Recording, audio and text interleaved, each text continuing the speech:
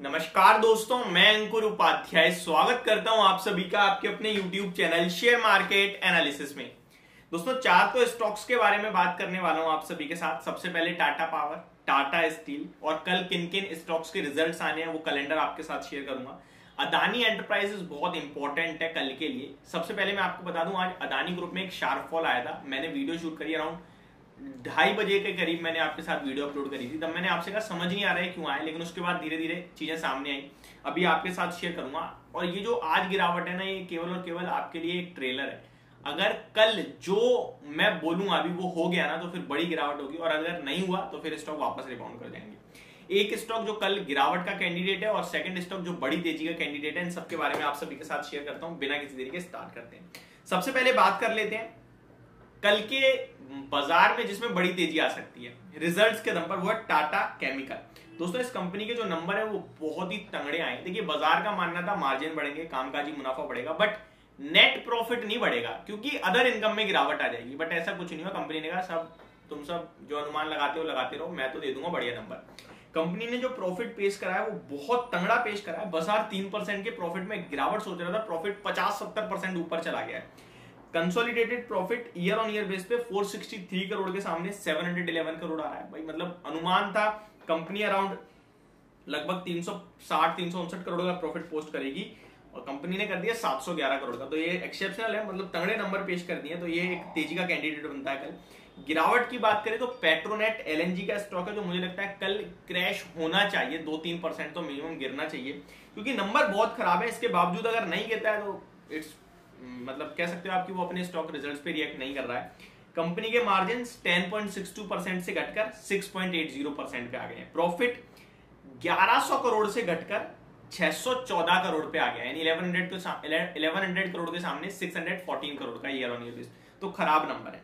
अब आते हैं कल के रिज़ल्ट कैलेंडर पे। तो रिज़ल्ट कैलेंडर में देखिए, एक नाम तो कॉमन है जिसपे मैं अभी बात भी करूँगा, वो टाटा पावर टाटा पावर के भी कल नंबर आने वाले हैं। पहले मैं आप सभी के साथ रिजल्ट्स कैलेंडर शेयर कर देता हूँ कल के लिए फोर्थ में। तो पहला बड़ा नाम देखें तो यूनाइटेड ब्रेवरीज का नंबर आता हुआ दिखेगा आपको। सेकंड 361 का नंबर आता हुआ दिखेगा। रशिल डिकॉर का नंबर आएगा। एंड आगे कुछ बड़े नाम तो हीरो मोटोकॉप के कल नंबर आते हुए दिखेंगे निफ्टी से, ये बड़ा नंबर है। डाबर इंडिया के नंबर आते हुए दिखेंगे। जे बैंक अपने नंबर पेश करेगा। ब्लू स्टार एंड सीएट के नंबर देखने वाले बात होगी, क्योंकि भैया आज एमआरएफ ने जो नंबर पेश करे हैं ना बहुत तंगड़े नंबर पेश करे हैं। उसके दम पर स्टॉक भी भागा है और ये पहला स्टॉक होने वाला है जो एक लाख का मार्क टच करने वाला है। ठीक है? तो सीएट के नंबर देखने वाली बात होगी। हालाँकि आज सीएट एमआरएफ से ज़्यादा भागा है 7.68 परसेंट भागा है। तो इसके नंबर देखना होगा। टीवीएस मोटर्स अपने नंबर पेश करेगा। एंड विनाइल केमिकल्स के भी नंबर आएँगे। निफ्टी से एचडीएफसी के भी नंबर आते हुए दिखेंगे। आगे बात करें तो पंजाब केमिकल्स के नंबर आएँगे आईडीएफसी के नंबर आएँगे आईडीएफसी फ़र्स्ट बैंक के तो तंगड़े आए थे आईडीएफसी के देखना होगा कैसे आएँगे। अदानी एंटरप्राइजेस के नंबर आने वाले हैं कल तो कल ये बहुत इंपॉर्टेंट है, इसके बारे में डिटेल में और शेयर करूँगा तो अदानी एंटरप्राइज अपने नंबर पेश करेगा टाटा पावर के भी नंबर आने वाले हैं, इस पर भी डिटेल में बात करेंगे। रतन इंडिया पावर के नंबर आएँगे फ़र्स्ट सोर्स सॉल्यूशंस के नंबर आएँगे राने इंजीनियर इंजन के नंबर्स कल के सेशन में आते हुए दिखेंगे। माइंड स्पेस बिज़नेस के नंबर कल के सेशन में आते हुए दिखेंगे।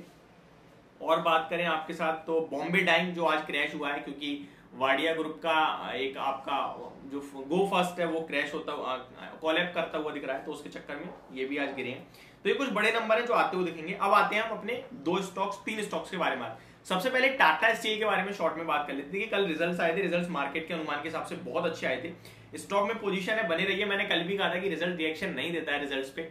स्टॉक रिएक्शन नहीं देता है रिजल्ट्स पे, और वैसा ही हुआ। स्टॉक फ्लैट बंद हो गया। मुझे लगता है बने रहना चाहिए। आपके लिए 114 और 120 रुपए भी आने वाले समय में आता हुआ दिख सकता है। इसके लिए आपको एक छोटा सा स्टॉप लॉस भी मेंटेन करना है। वन हंड्रेड रुपीज़ का क्लोजिंग बेसिस पे, और थोड़ा डीप रख सकते हो तो फिर एक रुपए का, एक रुपए का आप क्लोजिंग बेसिस पे स्टॉप लॉस रख के बने रहिए। अब अदानी एंटरप्राइज दोस्तों एक कल बहुत इंपॉर्टेंट है। देखिए, हुआ क्या था? आज जो गिरावट आई है ना, इसके पीछे का जो रीजन है, वो आया समझ में। कल आए थे अदानी टोटल गैस के नंबर जहाँ पे इनकी तरफ़ से इनके जो आ, मैं आपके साथ एग्जैक्टली शेयर करता हूँ मैंने वैसे वीडियो शेयर करी थी फिर भी मैं एक बार दोबारा शेयर कर देता हूँ। जो इनके ऑडिटर है ना अदानी टोटल गैस के ऑडिटर उन्होंने रिजाइन दे दिया उन्होंने इस्तीफा दे दिया और ये चीज़ कल अदानी टोटल गैस के रिजल्ट्स के साथ आई थी और उन्होंने इस्तीफा में बोला है कि मैं रिजाइन इसलिए दे रहा हूँ क्योंकि मेरे पास वर्कलोड बहुत ज़्यादा हो गया है। मेरे पास और ज़्यादा काम आ गया तो मैं अदानी टोटल गैस छोड़ रहा हूँ। और यही इंसान जो है इनका नाम भी आपके सभी आ, आपके साथ अगर मैं शेयर करूँ तो मिस्टर शाह धन धारिया नाम है इनका। तो इन्होंने क्या करा है कि अदानी टोटल कैसे एज ऑडिटर रिजाइन दे दिया है और यही जो है अदानी एंटरप्राइजेस के भी ऑडिटर है। तो अब बाज़ार को लगा कि मे बी अदानी एंटरप्राइज के जब नंबर आएँगे तो यहाँ पे ऐसा आएगा कि इन्होंने अदानी एंटरप्राइजेस से भी रिजाइन दे दिया है। देखिए अदानी टोटल गैस से दिया है वो मार्केट को बर्दाश्त हो गया लेकिन अदानी एंटरप्राइज एक बड़ा नाम है और ऑडिटर का इस्तीफा मंजूर नहीं करेगा बाज़ार। बड़ी प्रॉब्लम आ सकती है। तो अगर अदानी एंटरप्राइज के नंबर में, पहले तो नंबर मैटर करेंगे, लेकिन उसके बाद करेगा, इनका इस्तीफा मैटर कि क्या इस्तीफा दिया है या नहीं दिया है। दिया है तो नेगेटिव है और नहीं दिया है तो सब नॉर्मल है, कोई इशू नहीं है। फिर रिज़ल्ट पे रिएक्शन आएगा। तो ये था आज का रीजन गिरावट का, मैंने आपके साथ शेयर कर दिया है। अब टाटा पावर दोस्तों, सबसे पहले तो मैंने इसमें दो रुपए तक का टेक्निकल बेसिस पे आपके साथ टारगेट दिया था, वो निकलेगा तो बड़ी तेज़ी बनेगी, ये भी कहा। आज का हाई देख लीजिए, दो रुपए का है और कल है इसके रिज़ल्ट अब एक्जैक्टली 205 पे ऑलमोस्ट पहुँचता हुआ दिखा है। मुझे लगता है अब आपको इस स्टॉक में कुछ नहीं करना चाहिए। अब कल रिजल्ट्स आने देते हैं, उसके बाद ही ट्रेड लेंगे। इनकेस ये स्टॉक 205 निकाल के टिकता है तो दो रुपए तक की जर्नी होगी।